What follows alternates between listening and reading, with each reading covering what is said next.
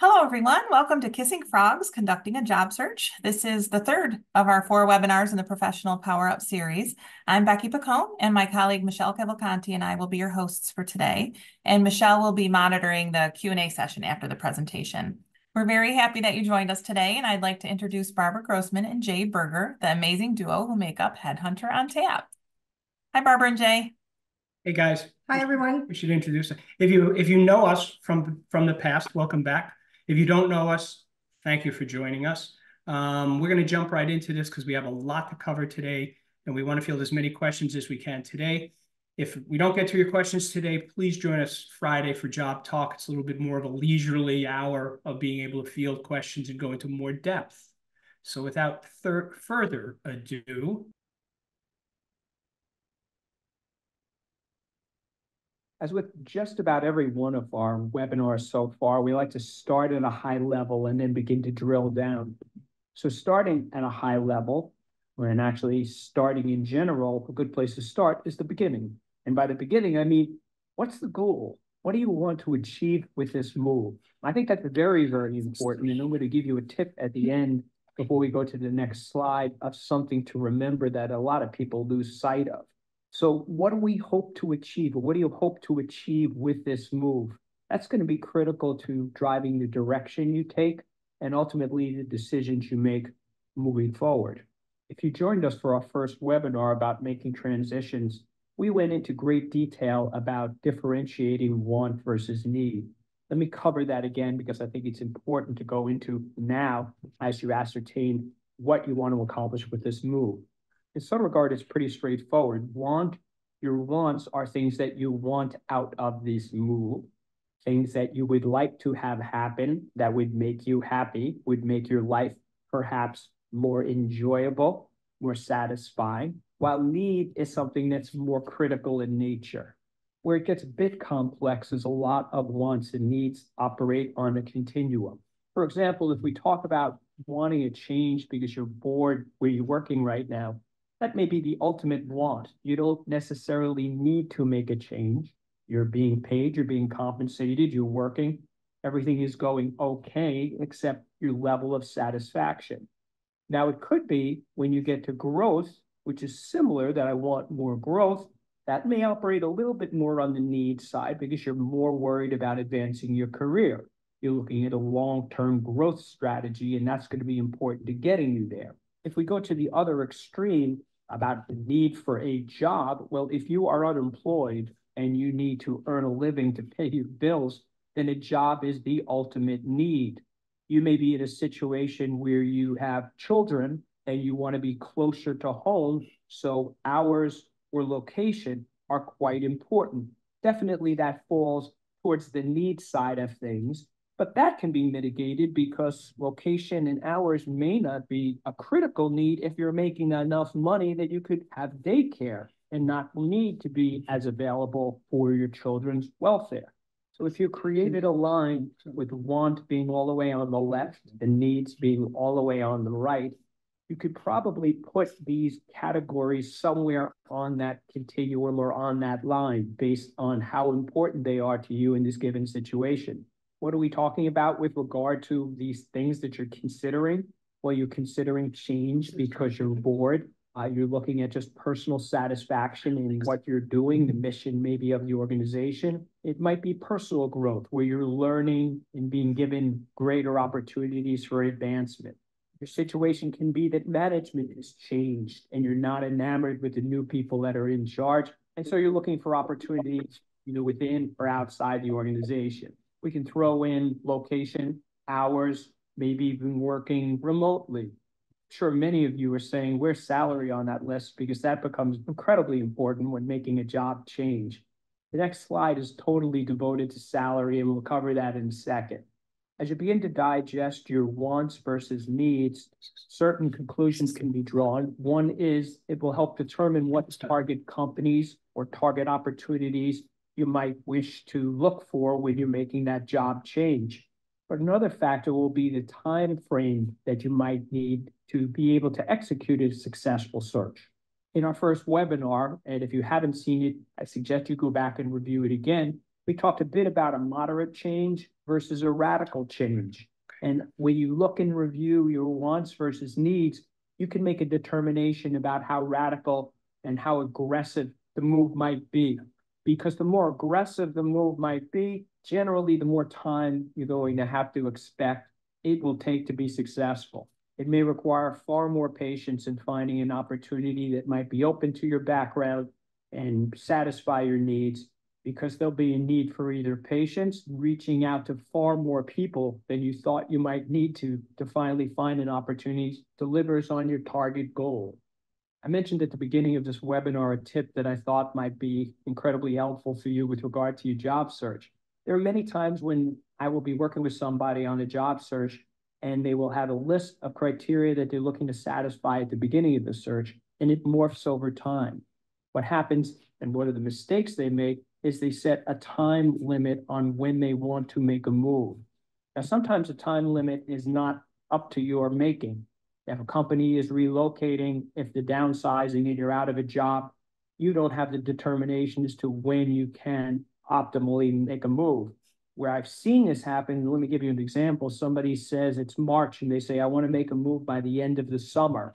So in the back of their mind, by August or September, they want to be out. The time frame they stipulate is purely a want and is not driven by any outside factors whatsoever. What can begin to play out is as the summer goes along, if they are not successful in finding the right opportunity, they begin to lower the bar about what they might be open to. They may extend how far they're willing to commute. They may lessen the requirement for a certain title or level of responsibility, or even the salary and compensation that they were hoping to get by making this move. And what results is they're successful in meeting their time frame of finding a new job before the end of the summer. But ultimately, when they look back, the job they have is not that much better or different than the one that they just left. In other words, they were successful in meeting their deadline, but not successful in getting everything they wanted in making the change, ultimately leaving them less than satisfied.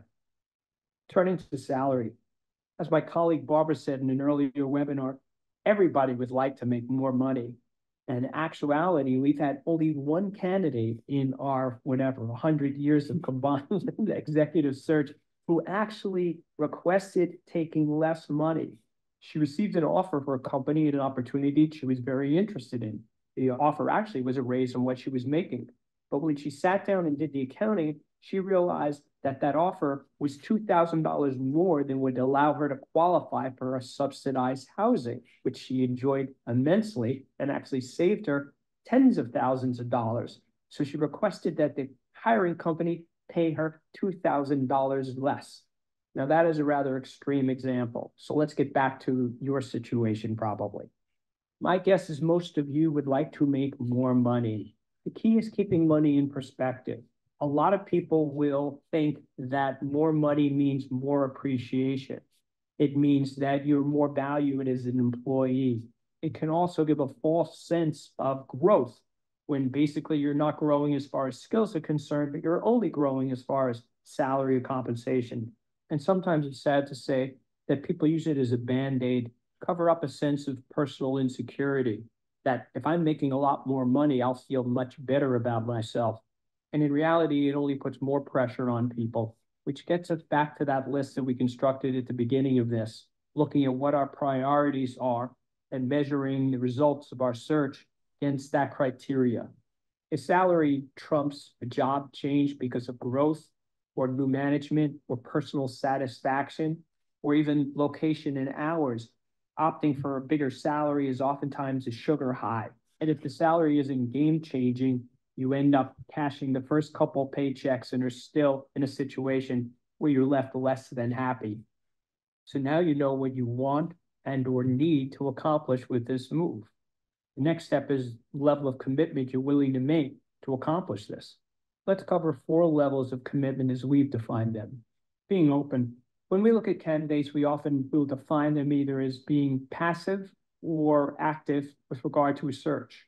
I think the statistics out there say that 70% of people currently employed are either passively or actively involved in contemplating a next move. Being open means that you are happy where you are, things are going along fine, and you're not actively pursuing new opportunities, yet we define it as being open because we think you should always listen to at least what somebody might have to say. You never know when an opportunity is going to present itself that is just so extraordinary that you would say yes no matter what. And the good news about pursuing things when you're in this situation of being open is there's very little pressure on you. Basically, you can walk away at any given time, go back to the situation that you're in and be quite happy. Yet we encourage to being open because you never know when an opportunity of a lifetime may present itself. And it doesn't always present itself when you need it. Oftentimes it presents itself when you're not looking for it. Let me do some math here. Basically, if you are looking for an opportunity, you are looking for an opportunity within a confined period of time, let's say two to three months. That means the great opportunity would have to come along within two or three months. If you are being open and a passive candidate, it may be years between interviews. And obviously, a fantastic opportunity would be more likely to occur over the course of several years than narrow period of a couple months. Being open requires very little commitment to time for the most part. Basically, what we would recommend is that you always code your LinkedIn profile to being open, which would have more people reach out to you. Barbara's going to cover that a little bit later on. Short of that, if there are inquiries and asks made of you about potential opportunities, you can dictate whether you want to pursue it or not. And as a result, you control the amount of time and energy you want to expend. Browsing is a notch below that. People have a tendency to browse. Perhaps they had a bad day. They're looking to avoid work on a Friday and say, "Yeah, let me let me kill some time. Let me see what else is out there." You might want to explore what potentially is out there, just keeping track of your career opportunities or maybe there's some rumblings of changes that might be occurring internally or externally within your firm. So occasionally you will check things out. You're spending several hours looking at job boards or maybe even checking into companies that you have a high level of interest in. Committed means you've already decided that you need to make a move. Let me dial that back a set and say you want or need to make a move. You know that you're bored where you are and you're looking for more growth or challenge it could be a matter of money where you do want an increase and feel that you're underpaid based on the rest of the workforce. Management has changed and you're not happy in the new role. You are ready for just a new opportunity for excitement. You're bored where you are. Or perhaps you're returning to the workforce after caring for children or a parent or ailing relative. If you are still working, well, this is an extra commitment to your day job. Essentially, your day job is continuing in the role that you're in, providing hopefully excellent service to the company that you're working for. But on top of that, you're taking time in the evenings or on weekends to look through job boards, get your resume out there and be active in the search process. Along with networking, of course, with people that you know from your past or new people that you come into contact with. And lastly, we get to urgent. Urgent means that you are unemployed or given notice that your job will be no longer there and you'll be laid off, and you have to spend your entire time looking for a new position. That means a full-time commitment to looking for your next role. No matter what your level of commitment is to making a change, investing a little bit of time in being prepared will have you more able to seize the opportunity. And for many, preparing before you need to be prepared comes more easily and results in more positive evaluation of your needs and wants. Three things to look into with regard to preparation. Priorities, which we've already covered, are essentially making that list of wants and needs and determining what you want to accomplish in making this move. Transferable knowledge, we also covered in an earlier webinar having to do with making transitions. And basically, a transferable knowledge is a combination of the business experience you've picked up and the skills you've developed to be able to execute on the roles that you've been in. Business experience includes specific industry knowledge, whether it's banking, investments, manufacturing, consumer products, advertising, petrochemical engineering. You kind of get the picture of what I'm getting at right now, right? On top of that, we're talking about the roles that you have within these organizations. You might have been an accountant, you might have been a financial analyst, you might have been a computer person, a technical person, you might have been in engineering, HR, or marketing. Each of these are skills knowledge and experience knowledge that are transferable in some cases to the same industry or outside of your industry. Understanding transferable skills will enable you to be more flexible about stretching beyond certain areas where you feel somewhat confined, perhaps within a particular industry itself. And do note some of your inherent skills, whether you are a strong communicator, like being able to make presentations, have strong writing skills, are somebody who's big on team building. These are core attributes, which leads into the last piece of our trio here of professional narrative. We went into a deep dive in professional narrative in our last webinar having to do with creating an authentic resume. And I would urge you to review that if you want to know a little bit more about professional narrative. Your professional narrative is a combination of your core attributes, traits that are inherent to you that you bring to the table when you take on any task or situation. And we add on to that your journey, both your professional and personal journey, which informs where you think from and how you go about handling tasks and situations. That results in your value statement in general. It's how you go about doing what you do day in and day out. Armed with your priorities, your transferable knowledge, and your professional narrative, you're ready to do some of the more practical steps of updating your resume. We talk a lot about resumes in the last webinar, and I'd ask you to review that. We suggest several resumes because normally you're applying for different types of positions. You want to update your LinkedIn profile so it is current. You want to make it attractive to those people, and especially as a passive candidate and somebody who's not actively looking, a current and attractive LinkedIn profile will have people reach out to you. We have actually had several candidates who've been hired into positions who never had to put together a resume. They were hired strictly on the basis of their LinkedIn profiles. And with your resume and LinkedIn profile ready to go, you want to have your profile open to be reviewed by interested parties. This is a good time for me to turn this over to Barbara. Barbara's going to talk to you a lot about LinkedIn profiles and how to code things appropriately. Thanks, Jay. With that overview, we're now going to focus on some of the more detail-oriented, or what I call blocking and tackling aspects of going through a job search or a career transition.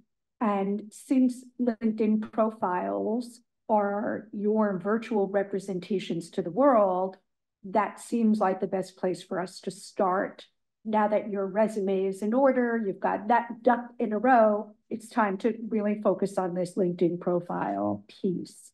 Oftentimes, we know that people are now even hired directly from LinkedIn profiles. Resumes may or may not even be viewed or potentially are only viewed at a late stage of the process.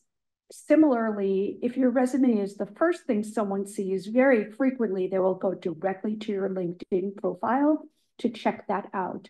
So it's important for you to sync it to your resume, make sure it aligns with your resume, and to make sure that it is set up in a way that optimizes your success in finding a new position. The goal of the LinkedIn profile, in addition to representing you well and presenting a first good impression to the world, is to make sure that you're findable to people who are looking for people. And to that end, we absolutely encourage you to code your profile open. LinkedIn allows you to do this in two very different ways. The first way, as you can see from this slide, which has my profile here as an example, is to code yourself open to all LinkedIn members. And that's when you get that little green collar around your profile photo. Arguably, LinkedIn could have done a better job on the aesthetics with this, but in truth, it is a very effective mechanism to let people know that you're open. When Jay and I are doing searches and we see this, it tells us right away that this individual will most likely be receptive if we reach out to them with a new opportunity. On the other hand, if you're currently working in a position or in a career transition that you know is going to take some time, and you really don't want everyone in the world to know that you're open, particularly the people you work with, LinkedIn allows you to code your profile open to recruiters only. And what that actually means is it is open to anyone using the recruiter platform, which is the platform that we use to do searches. I know in our case, our personal platform and our recruiter platform absolutely don't speak to each other. There's a firewall up between them. So for most of you, you're using a personal platform and most of the people you know are using that platform. This allows only people using a recruiter platform to view you as open to work. And it's not immediately obvious. It comes up in two different ways. If we put in a search parameter that requests only people open to work, you will come up in that search. And on your profile, it actually will say to us that you are coded to open, not to everyone, just to us. We've heard some resistance to this with the concern that, are you sure someone from my company in HR won't see it? LinkedIn does say that they do their best to ensure that. In all the years that we've been using LinkedIn, which is since its inception, we have yet to hear of someone who's run into a problem with that. It seems to be pretty reliable and we would encourage you, therefore, to use that when in fact you are open to work, but don't want everyone in the world to know. In addition, you can indicate the job titles that you are interested in. And here we encourage you to use as many as you possibly can that would fit for you. And as we've spoken about, use functional titles in addition perhaps to an actual title so that you're broadly including all types of jobs that may be appropriate for you. When it comes to job location, which they're going to require you also add, we suggest you go as broad as possible. On my profile here, you can see I've used Hamden, Connecticut, which is incredibly specific. For some people, their location is very specific. They want to be close to where they live or close to a particular location and that's perfectly fine. But for those of you who are open to a broader geographic area, and many people are now, especially with hybrid work situations, use the largest geography that works. I would probably, if I were in an open search, use either Connecticut or metropolitan New York. And if you're open to remote work in any way, including hybrid work schedules, I would check the box that says I'm open to remote work. Finally, it's a good idea to indicate how actively you're applying or when you're available. By checking the box immediately, I'm actively applying. People who are looking know that you won't be looking for a long start date. And that can be important. Some people have an immediate need and they want to know that you're very available. Of course, it doesn't mean that if you have a vacation planned in two weeks that you can't take it. But in general, it does imply or indicate that you are in an active search. Okay, moving on to a broader look at how to get going.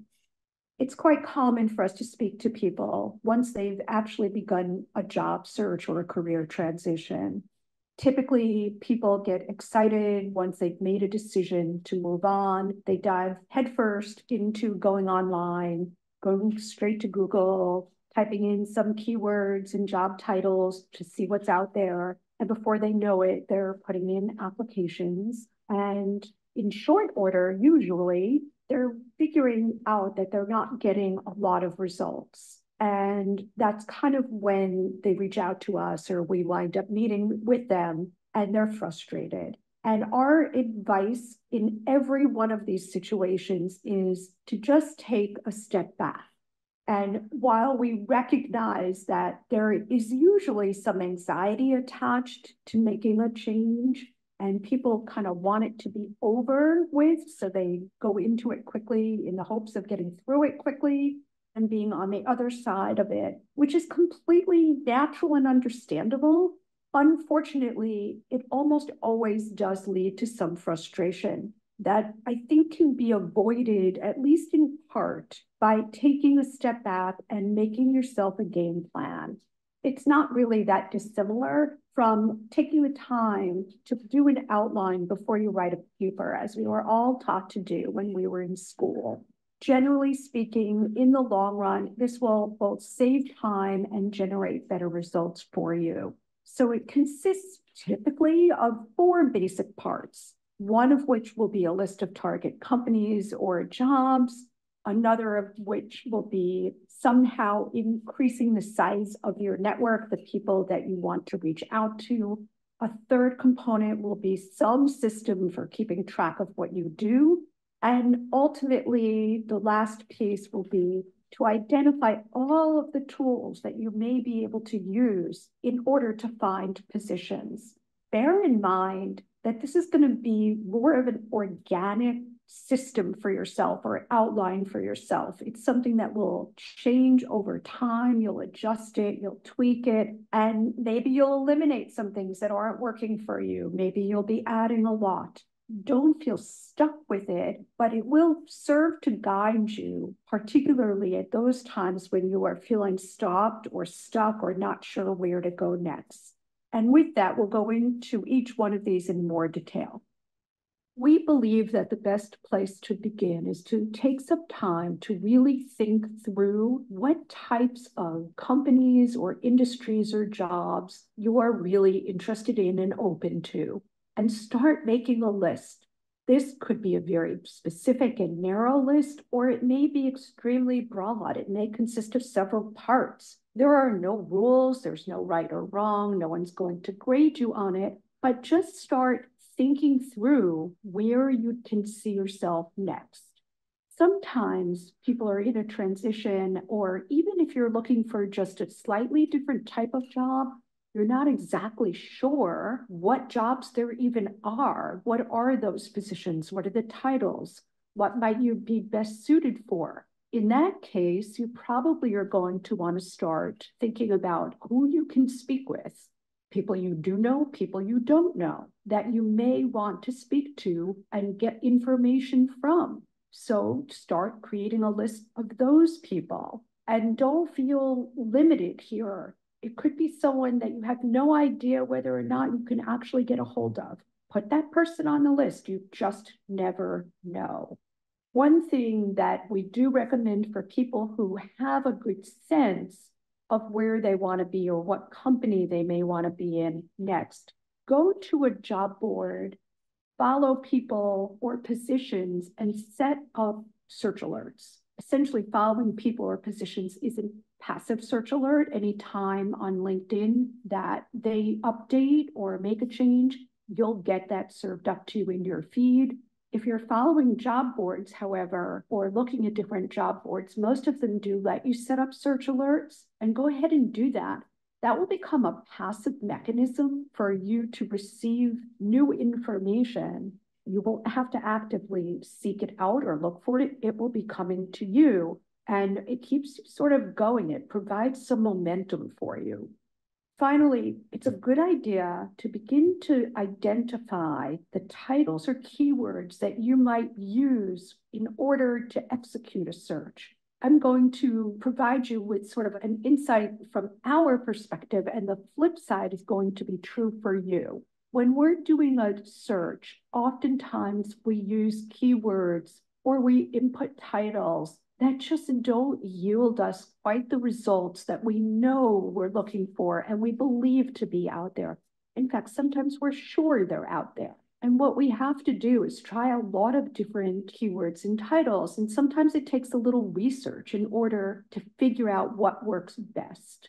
We might read position descriptions from other positions. We might look at people who we know who work in a similar type of environment and see what shows up in their resumes or their LinkedIn profiles. But we simultaneously expand and hone our list of keywords and titles. And very often, the joke is sometimes we hit what we call as the mother lode of results, right? Like you suddenly get this wonderful return on a search and it's unexpected. And oftentimes for us, it happens when we're pretty much most frustrated about not getting what we're looking for. Well, the same is going to be true for you. You're looking for. You may need to really tweak what words you're putting in and titles you're using in order to get the kind of results you most want although a lot of what you do with regard to your own job search or transition is self-initiated and self-directed, and you have to do it on your own. That being said, there's a very significant component, I might even say most of what you do actually goes on out there in the world. It happens through conversations with people. And it's important to think about who you can speak with, who you might want to speak with, who you don't know that you can speak with, and begin making that list and setting up those conversations. Another way of talking about this is to say, build out your network. I hate using the word network because so many people are loath to do what they think of as networking. But instead, this is really about finding people to talk to, just having conversations. And in general, this will consist of people you do know and people you don't know. Don't overlook under the category of people you do know, talking with family and friends, the people that are most immediately in your circle that you see day in and day out. If you live with roommates, you may want to talk with your roommates and let them know that you've begun a new search for something. Regardless of how long you think it will take, how big a search it is, just bring people into what you're thinking about if you run into someone at an event or a party, go ahead and mention it when it's appropriate. Of course, you don't want to mention it to people if you are trying to keep this somewhat quiet where you do currently work. You may want to be careful at professional events. But in other circumstances, very often people meet people at conferences or at some type of association event, and that's where their next position comes from. So those are people I would put under the heading of you might know them, you may not know them, but you're somehow connected with them and you run into them in some casual way. Don't overlook the people you commute with. If you commute, I can tell you that more than one time I've heard about people getting a new position through someone they commute with. Someone I remember speaking with transitioned into a very different career because the person that she commuted with for years was looking for someone and kind of looked at her one day and said, You know, you'd be really good at this. He just knew that from having spoken with her through the course of years. She had never considered doing what he needed to be done. She wasn't sure she could. And she had some trepidation, mostly about her own ability, her self confidence, but he assured her it would work out. And lo and behold, it really did. That's where she wound up excelling in her career and taking off. When it comes to people you don't know, you want to think about where you want to be or land and who might be a resource for you. We talk a lot about informational interviews. It's much easier to ask people for information. What is it about where they work that they do like or don't like? What is of interest? What types of pitfalls should you be aware of? Sometimes there are big themes that are industry wide or company wide that you really should know about if you're considering something and you want to know about them. So you want to look for people that you can speak to as a resource. You can reach out to them through LinkedIn. You can reach out through common mutual connections. That's ideal, perhaps. A lot of times people don't mind speaking with you. Just make sure that you are specific enough in your request to speak with them so that they're motivated to respond and provide you with the answers you're looking for. When it's appropriate, you can certainly talk with colleagues. Oftentimes, previous former colleagues are a really great resource when you're looking for a new position. I was recently working with a candidate who was just someone I knew who was looking for a new position. She had just started her search. And interestingly, by coincidence, a former colleague of hers moved into a new position. She reached out to congratulate the person and they got to talking and the person said, oh, do you remember so-and-so from where we worked? And she said, yes, of course. And they both really respected this person. And she said, I'm pretty sure he's looking for someone you'd probably be great for his team. And within a couple of weeks, she had a job offer. It all happened a lot more unexpectedly and more quickly than she would have ever imagined it's good to think about all the groups that you're part of. I call them affinity groups because that's the word I know from universities. And of course, places from universities, whether it's a fraternity or a sorority. I belong to a women's network group of alumni within my geographic location. Could be anything, but those are all great resources. Obviously, professional associations are a natural. I already mentioned that. But don't overlook your community resources as well, whether it's a place where you get together for sports purposes as informally and casually as tennis, or as formally as a hockey league that you participate in, or a soccer club, or a hobby, a book group, a knitting group, a gardening group, yoga. Whatever it is that you do where you see people, don't hesitate to mention that you're open to a new search or a new position and see what might come of those conversations. Alumni associations and networks are, of course, a resource that you should take full advantage of. You paid for that education, you earned it, and you deserve to reap the benefits. So speak to those people. Again, make sure that you're targeted enough when you're reaching out to people that you don't know to ask them for something specific. So it's not an open-ended question or one where they're looking at a request saying, why is this person reaching out to me? I don't get it. Make it clear what it is that you hope to gain from a conversation. And of course, there is LinkedIn. LinkedIn obviously provides you with the ability to connect. At this point, random connections are so prevalent that people are wary of that. I do recommend if you reach out to connect with people that you send a short and clear note as to why you're reaching out to connect.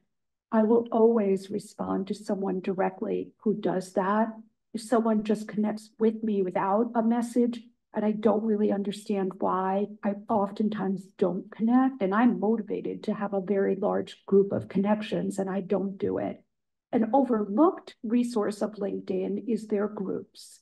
You can join an unlimited number of groups now, and we tell people join as many as you can that fit for you people within groups are able to message one another. You'll often see people who are doing similar work to you or interested in similar things as you're interested in. And it's kind of a hidden resource that is more like a professional association than just a connection. So go ahead and build out that network in a way that isn't networking. Think of it more as just having many conversations, as many as possible, I promise you, ultimately, conversations are going to be what leads you to getting a position. Most times it will not come from that blind application through a portal. Not that you shouldn't do that, but this is a very critical piece.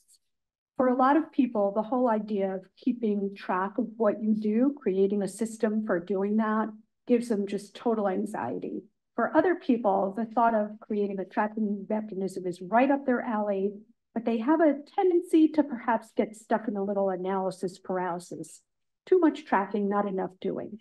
The idea here is to find some balance, and the real goal is to make sure that you know what you've done so that you're not retracing your steps and duplicating your own efforts it's generally helpful to keep track of all of the companies that you've reached out to or would like to reach out to.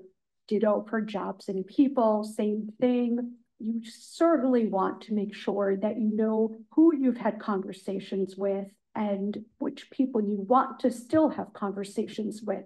That in particular is going to be an ever evolving list. So you just want to kind of track that it's very easy as you move forward to forget. Think I spoke to that person, but I'm not sure. Sounds familiar, etc.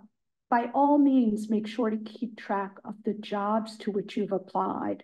You don't want to waste time applying twice. And application portals tend to be a bit cumbersome and time consuming. So you really don't want to go over your steps on that one and make sure to note what you've done in terms of research so that you can refer back to it down the road. Ultimately, this gives you a way of knowing what your status is, sort of that checklist for what you have done. And then it does also provide you with an ongoing to-do list. A quick comment here is don't forget to send out thank you notes to people, whether they're quick text or an email or longer and more specific in the case where someone's really taken some time with you. People sometimes ask me, is that a little old fashioned? Believe it or not, I've gotten that question more than I would imagine. And the truth is, it's not at all old fashioned. No one minds being thanked for their time or appreciated. But generally speaking, you kind of want to know where you've been and where you need to still go or want to still go. And that's the whole point of this. It is not to make a whole project in and of itself out of it. The little bit of hidden gold in this is down the road when you are in yet another search, and for most of you, that is really going to happen. if not once, multiple times in your career. The younger you are, the more likely it is going to happen more frequently at this point because that's the rate of change that we're in in today's world. This becomes sort of your own job journal and career transition journal, and you can refer to it and build on it time and again. So not only are you leveraging the time you're spending now, but you can potentially leverage the time you spend down the road as you move forward in your career. In addition to optimizing your time, you're going to want to leverage the tools you're going to use to find positions. Obviously, you're going to go to the big aggregators and places that are clear to everyone, but don't overlook taking the time to learn more about the specific tools that may be available within the company or organizations that you're looking to get into think about and do some research on what aggregators are out there for your particular sector. There are aggregators probably in every sector at this point, and they tend to be more fruitful than some of the larger ones because they are more narrowly driven. Think about what you can use LinkedIn for in addition to searching for jobs you can certainly see postings on groups. We mentioned groups before as a way of leveraging your network. You can follow people, and when people do make changes, that update will come through in your feed, and you'll see not only where they've been, but where they're going to. And certainly, it may identify new opportunities for you or places you hadn't thought of. The same is true for following companies anytime they post a new position or make a change, you will get that served up to you in your feed. So you want to leverage all of those, what I call passive tools, so that you're getting information without having to go out there and look for it. Oftentimes people will overlook thinking about going directly to company websites.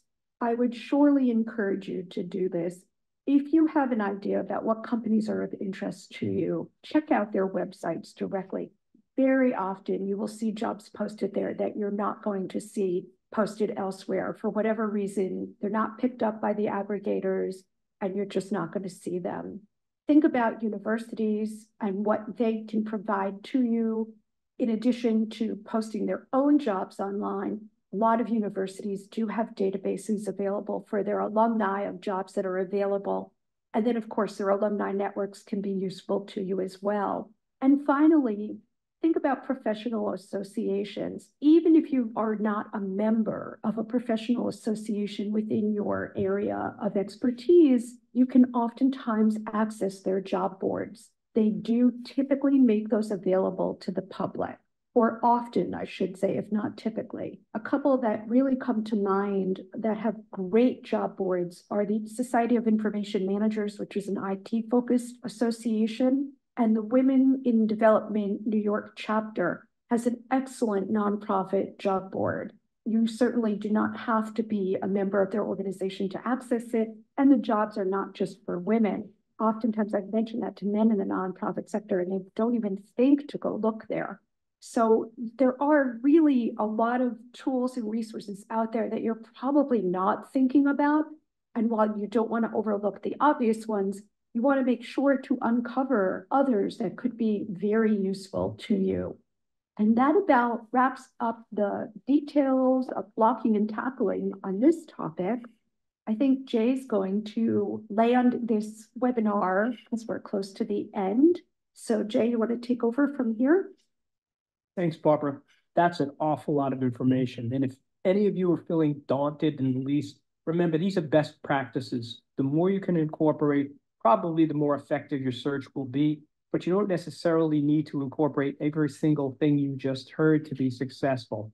We want you to know everything so you can choose to do as much as you are basically capable of handling at any given time to maximize your success. Let me see if I can set up position descriptions in a way that perhaps most of us can identify. If you're in the dating world and you ask somebody, hmm, what would the ideal man or woman be? Basically, the description you would hear probably matches less than 1% of the population in the world. And the likelihood that that person would show up at any given time and be available is next to zero. And if you went back to the person who was describing the ideal mate and said, well, what would you want out of this person? And they said, you know what?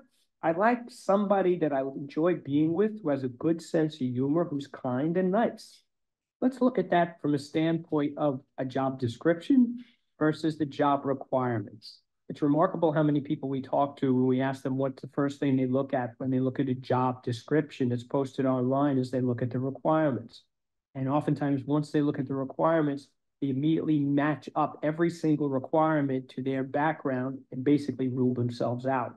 That is not the way to go about looking for a job. When I look at a job description, I look at the description of what the job is, the overview of the company and the role and what they want this person to accomplish in that role. That tells me all I need to know. And oftentimes I will fill in the blank about what skills are necessary to be able to accomplish that job. I then move on to the job requirements to get a better sense for where the company might be coming from. And actually, in many cases, to understand whether they are being realistic in their approach, irrational, or the job requirements don't necessarily line up with what the job responsibilities would be. So note the overview of the job responsibilities and whether you think it sounds practical that you could accomplish the task that they're looking someone to perform. If it sounds exciting, get excited. All right, don't hold back at all. And then you can move to the qualifications and requirements. A couple things to remember when you look at qualifications and requirements. Oftentimes these are wish lists. We'll go back to my dating analogy in the beginning. In a perfect world, what would the background of this individual look like? And in a lot of cases, that's a guess rather than a reality. I had a situation where I was terribly frustrated with regard to a search I was conducting. There were several required pieces of technology that they said they needed, and I could not find somebody who had all of those technologies, especially one in particular. I finally approached the client and said, I can't find this person. This person doesn't seem to exist. And they came back with, well, that's fine, Jay. That's a technology we're not using right now, and we may never use it. We just thought it might be nice to have also often job descriptions or requirements are geared towards how an organization or one particular organization is doing what they're doing, and it won't line up with what anybody else is doing. So they're asking for everything with the intention that if they get some of it, hopefully most of it, then that might be a viable candidate.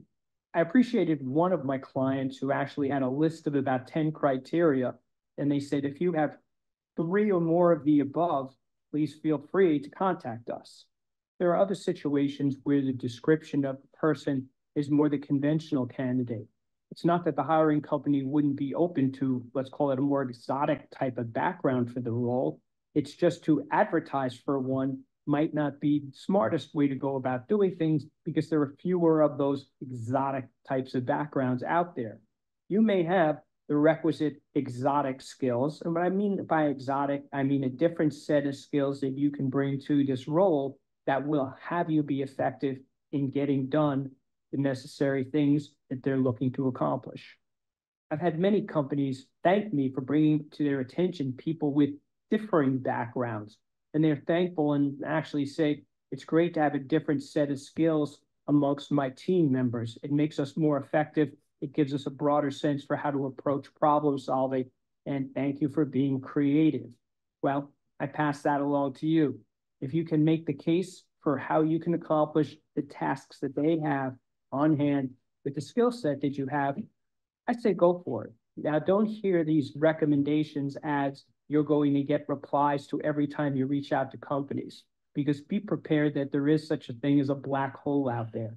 You really oftentimes don't know if your resume is being reviewed, if it's being seen, if the job that's posted is real, or if it's just posted externally while they know internally who they want to hire.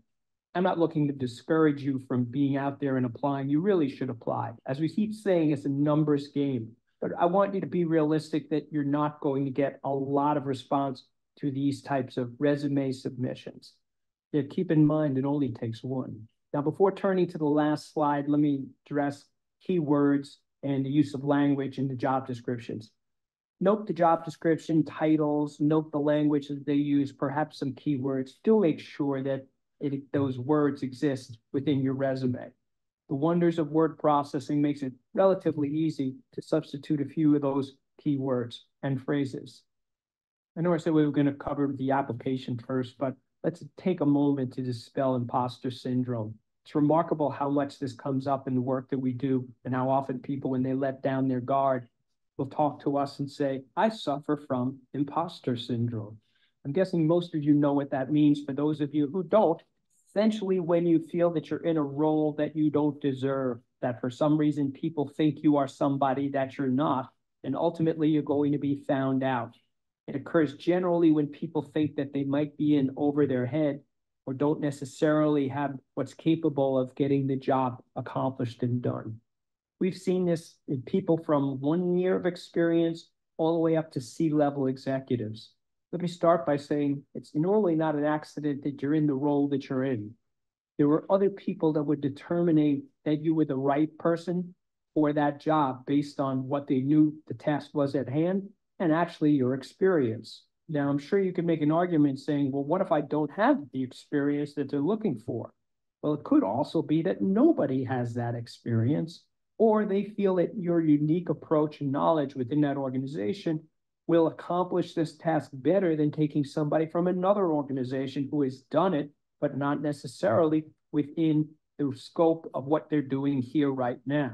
Your organization did not put you in this situation to fail. They have confidence in you.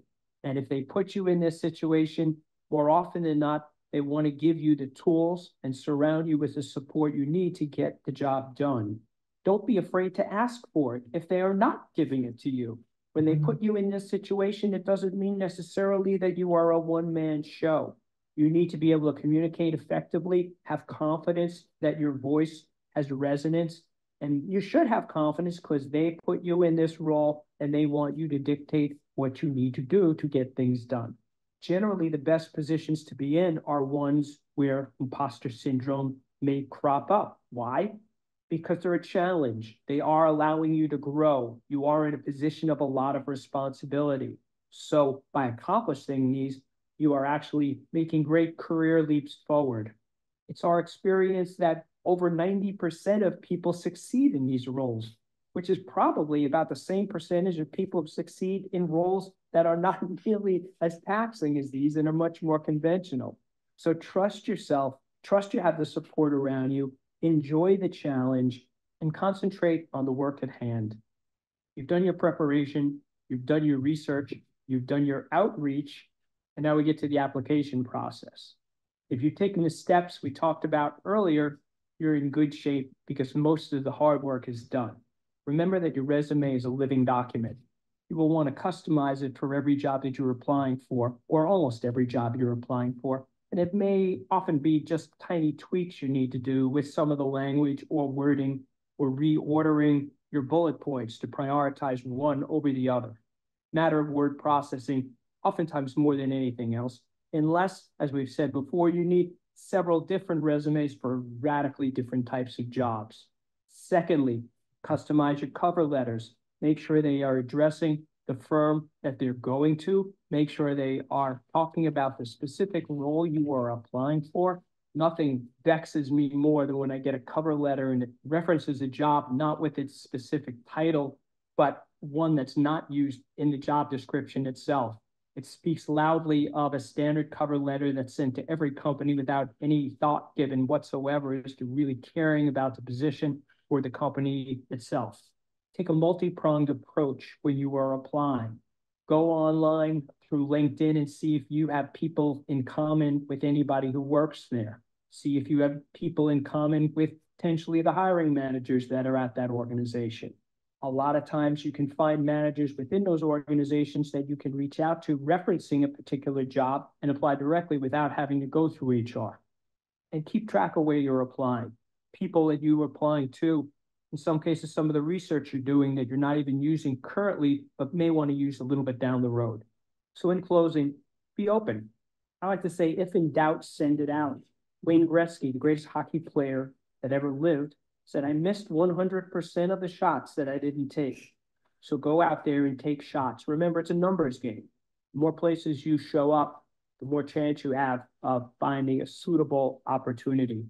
One of the things I didn't mention earlier when you're presenting yourself for jobs is just as often as you don't get brought in because you don't have enough of the qualifications they're looking for, often you're not brought in because you have too many of the qualifications they're looking for or have different experience than what they're looking for and they think you might be bored in the job and they can't deliver on what you're looking for in your next position. So it's not about the value of you as an employee. It's about how appropriate you might be for the particular role, that organization, and the given situation that they're looking to fill. It is not personal. And I throw in enjoy the process, and I'm sure people are saying, ugh, how can I enjoy this process?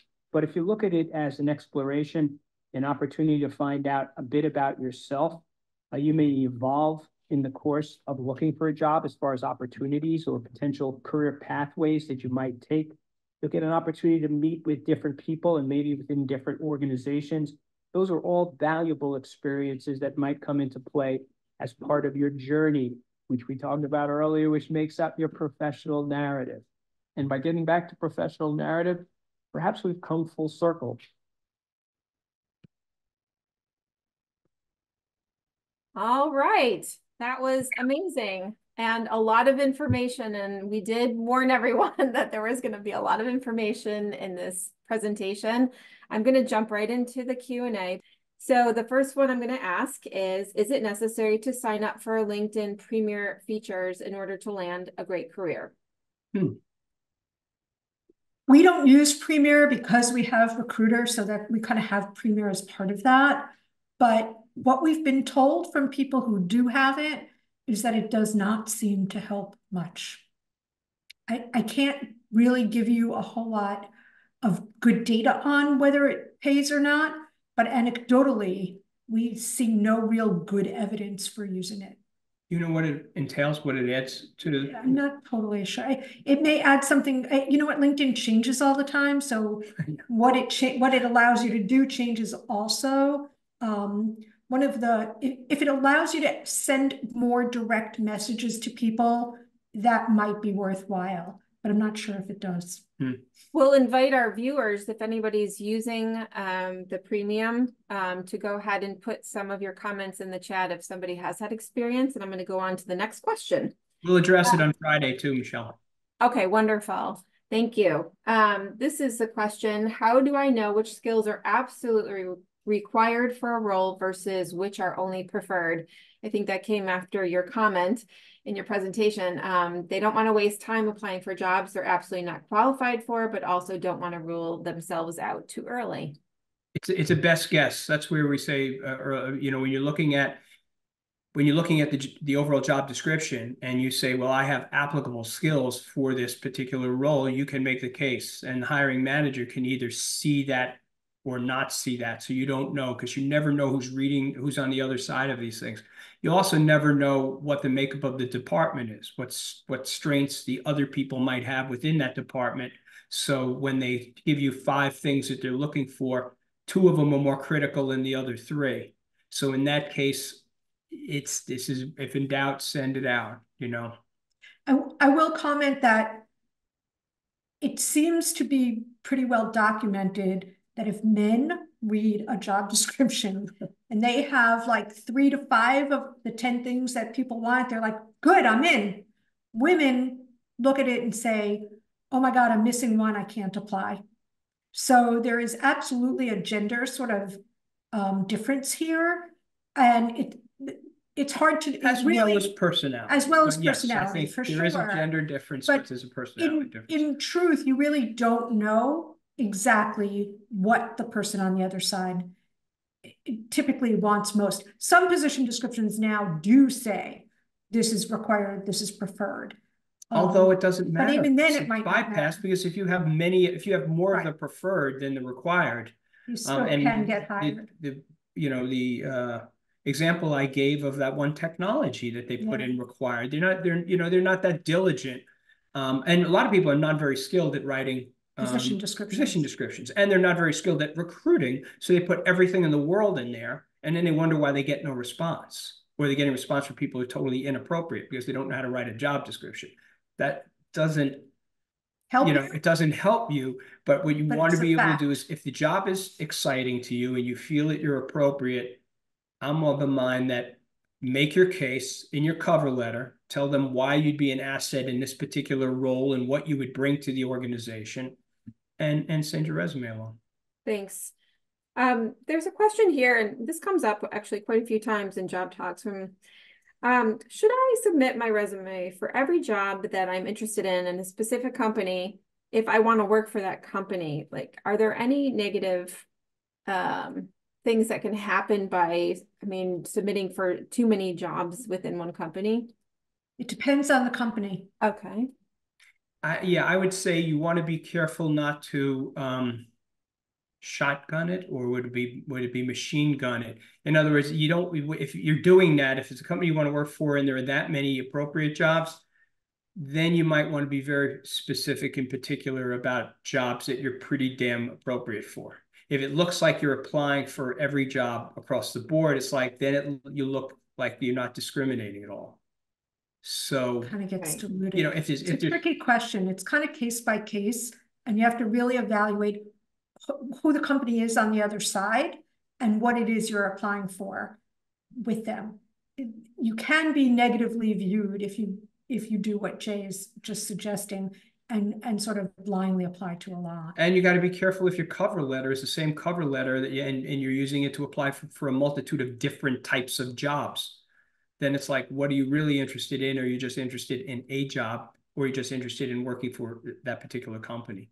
Can you appeal to um the hiring person um to consider you for for jobs because you're interested in that company? Can you write a letter to them saying, I'm very interested in Oh, working for you and to not specifically apply for a job? but- Absolutely. But remember, to tell them why you love them. And Right. why you would be good for them. Exactly. Both why you, what, what makes you interested and why you're a good fit for their organization. And it's not, so if you can give specifics about the organization, about their, their, um, mission, if they're, if it's that you believe in their mission and you can align why that, that's important to you, or, or their reputation, or having, but you want to give specifics as opposed to, oh, I just want to work for you because you are the biggest bank, or whatever. Right, Or everybody makes wants Spotify, like, that's Yeah. not, that's not sufficient. okay. Um, should you apply for a job when salary doesn't work for what you're looking for? Can you negotiate at the interview or is that just bad practice? Depends on how far off you are. Um, It depends on whether you're going up or down. So, you know, Let's not, say not- it's too low. Let's say it's. to be too low. flip, if, if, if you apply for a job and you go in there and, and you apply for the job and they say, this is paying eighty thousand dollars and you come in and say, well, I'm looking for one ten, that, Mhm. that probably, they'll probably get really, really annoyed at that. So, I mean, you knew what the range was, I'm wasting my time. Because it's not like I'm gonna sell them and I'm just so much better and whatever. Most organizations don't have that flexibility. And if they have that flexibility, they'll put the higher salary in there and consider people at a lower salary. Um, or with less experience, but it's a really, it's really hard, when I say it depends on how far off you are, that's exactly what I mean. If you're. If it's five you're grand, really if it's 10 grand. range- And, and don't forget, total compensation is not just Right. salary. Right, So what else, you might not, you might be okay with a slightly lower salary if the PTO is excellent and the benefits are really, you might save money in the end if your benefits are better. yeah, bonus. bonus and- and benefits opportunities, And stock Equity, options, four there oh one K match. there's a lot that goes into total comp and I wouldn't, um, I would, so I wouldn't overlook that and I wouldn't just look at salary, but if you need a certain dollar amount and to, you know, for your life and you're off by more than a couple of thousand dollars or at a higher level, you know, some increment, probably you cannot. I have search, I have some, do, I'm doing a search for university right now, and I have somebody who I, I talked to who's excellent. And, and salary, the targeted salary is hundred sixty-five thousand. They said, well, I'm kind of looking for more. I said, okay, what do you mean kind of looking for more? And it came out, well, I'm really looking for at least two hundred. I said, thank you very much. That's probably not gonna happen. Not, not in a rude way. I just said, no, Yeah. they can't stretch that much. They can probably stretch maybe five, maybe ten, I think. I don't know. It would be worth pursuing. But if you want, if you're looking for two hundred thousand, you're in a different neighborhood. camp, right? And it won't, and then it, then it's a waste of time. So it, it depends on, on the given situation. That I was last just gonna part. say, Michelle, the same concept, because this comes up too, goes for negotiating how, how much you can be work from home.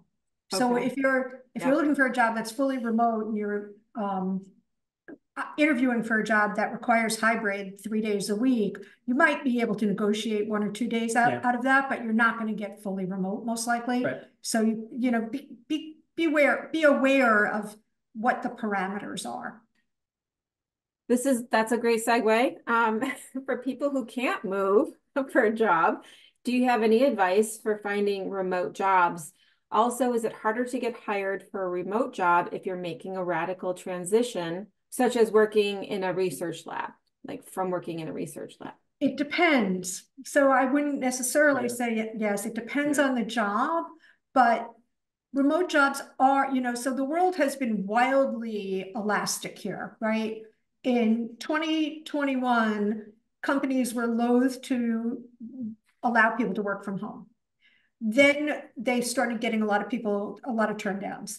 And lo and behold, in 2022, everyone jumped on the remote bandwagon. bandwagon. Well, 2023 started to bring about layoffs and corrections.